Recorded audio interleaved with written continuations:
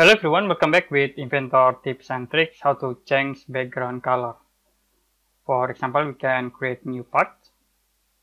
And now to change background colors, you can go to tools in here, tools menu and click application option.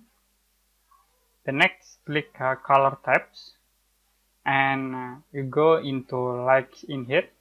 The next you can change background background image and you can click here to change. Like we can change into another background like this background. Click uh, open and apply. So it will be automatically change the background color. You also can set into another background. Okay like we set into this color.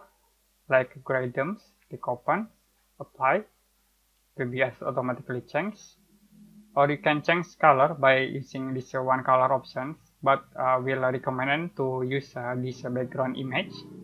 And I will set into default with uh, this color like blue domes click open and apply again. If you're done you can click close. Okay enough today for inventor tips and tricks how to change background color. If you have any question about this tutorial you can comment below this video